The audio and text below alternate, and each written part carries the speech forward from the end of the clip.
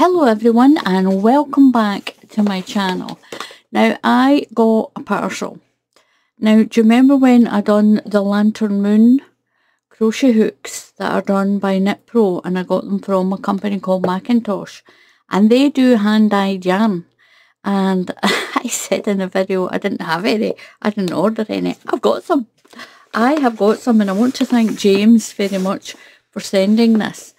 Now I've got my scissors ready for this. Now McIntosh do hand dyed yarn and the stuff that I have is called My Tenderness. The colour of it is called My Tenderness. Now the one thing that you have to remember, I will put links underneath the video, that if you order this yarn or any of the yarn, because it's hand dyed, you make sure you order enough for the project that you're going to do. Because it's all hand dyed, you have to make sure that it comes all in the same lot, if you know what I mean, in the same bundle. So I've got a picture of my yarn in the pot getting dyed. And here it is.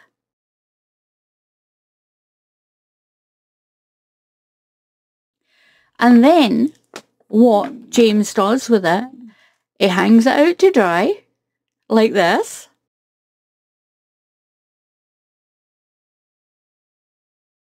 And then when it does dry, it dries slightly lighter.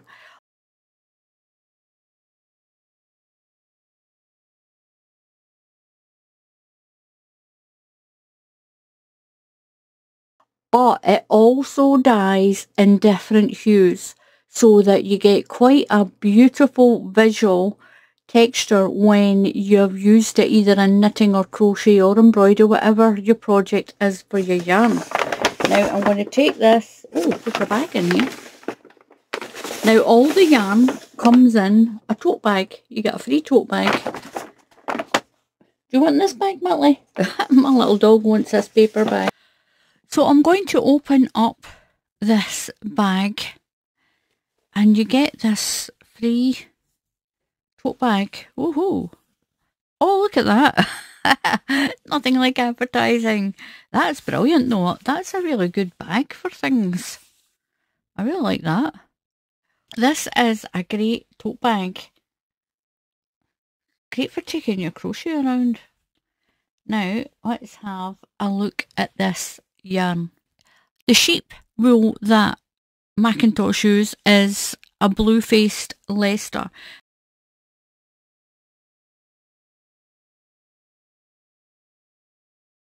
Now this is a semi-solid yarn. That means it's got different hues of the colour that it gets dyed with. And I have put pictures up of, oh my goodness, oh my goodness, look at this yarn. This is so pretty. Now this is all hand dyed. It is hand dyed. It's called My Tenderness. Got my light just shining in there. It's called My Tenderness, this yarn. It's soft. Oh my. This is soft. Now it's done in what's called a skein. A skein and you take it out and you put it on a machine. You can roll it into a cake. Now, I remember my mother had these. You take the label off and you untwist it, and she used to put it in your hands. Remember your grandmother or your mother doing that? we used to move all over the place. She would take it off and put it on the spindles of her chair, or turn her chair upside down and do it that way, and then roll it into a ball but now you've got little rolling machines. Now there should be four of these and there is a card in here and you get that bag as well. That's not bad. And you get a little tag. You get a McIntosh tag that you can sew onto your, it says hand wash and dry flat got the instructions on and you just sew that onto the garment that you make and it's got uh, Dear Alison, enjoy McIntosh hand dyed DK. Uh, wind it before use into a ball. and it's got on it from James. So I have got a wool winder. I have got a wool winder, so I will do that. I'm going to pop that back in there just now and put it out of the way. Now, this lilac it's called My Tenderness. I'll put a link under the video to the website because it does have other yarn and that BFL is a blue-faced Leicester sheep, a very Roman looking sheep. But again, it's like I didn't even know that all those sheep that were running around in the field where my sister lives, that they were blue-faced, blue-faced Leicester's. I do remember one time I saw them and it was cold outside and I thought, oh, they look freezing over there or the poor little faces because there's wool all over them and their faces do look, there is a tinge of blue in their face because apparently in the, the skin in their head is actually a dark blue and it shines through the white fur of their face.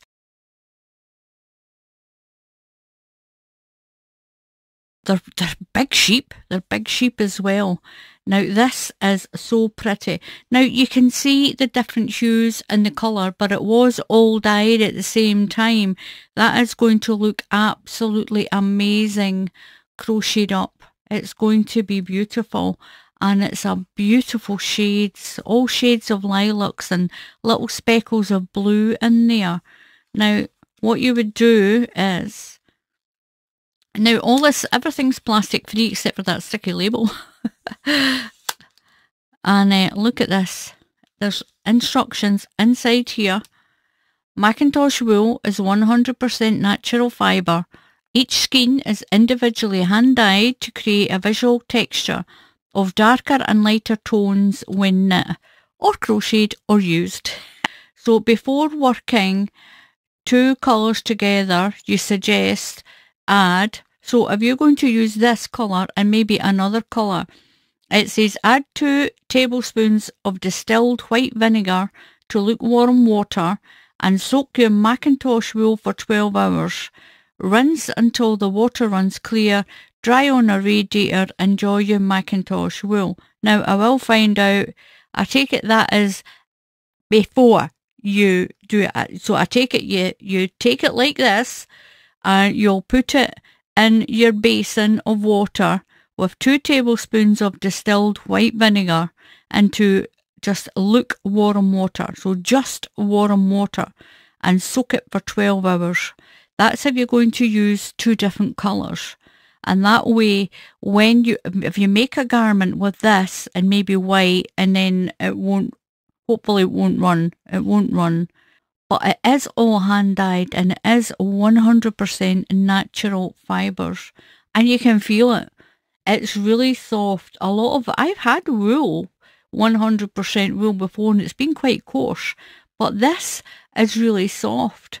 It's really soft. Now each skein is 100 grams, so I've got 400 grams, and I'm going to make myself a shawl with this. I'm going to work out a little pattern specifically for this, and I'm going to use my Lantern Moon crochet hooks. But what I will do is when you go to unravel this. You'll untwist it like this.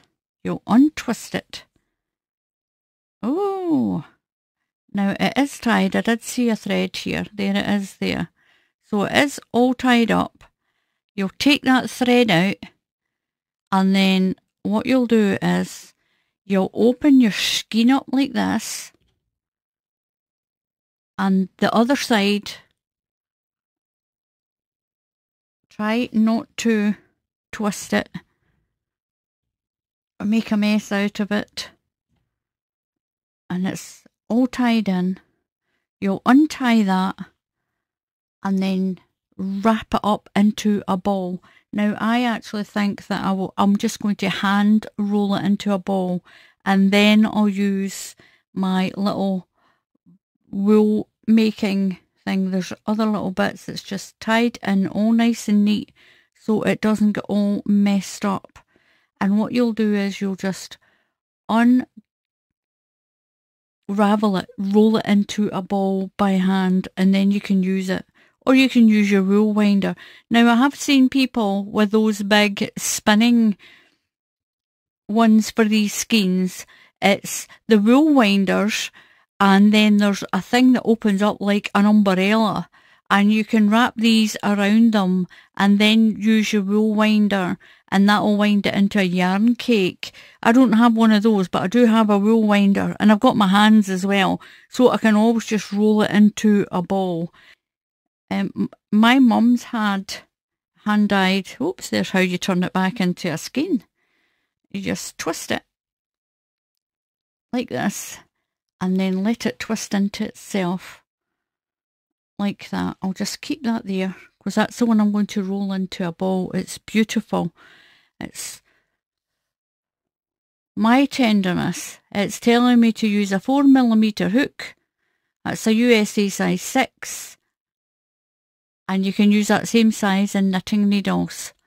Now, just bear in mind, this is hand dyed yarn. It's 100% natural wool.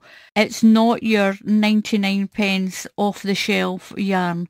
This is yarn that you would get to make something special. To make a beautiful sweater or a cardigan for yourself. Natural wool keeps you warmer as well. Acrylic yarn is nowhere near the quality of this. It is absolutely beautiful. If you are going to make something special for someone or for yourself, or you just like natural 100% wool, then try this. Try this. Go and have a look. There's not just this My Tenderness range. This one is called Tenderness. The, there is 24 different shades in the hand-dyed yarn. But please remember, get enough, order enough for the item that you're going to make. If you roughly know how much it takes to make a cardigan, a sweater, a bag, a hat and scarf, or a shawl, then order enough of the yarn because the next time it gets hand dyed, there might be, it might come out a little bit darker or a little bit too lighter to go with the yarn that you've already got because each batch is individually dyed and I'll show you those photos again of it in the pot. the yarn that I've got right here in the pot and then hanging out to dry.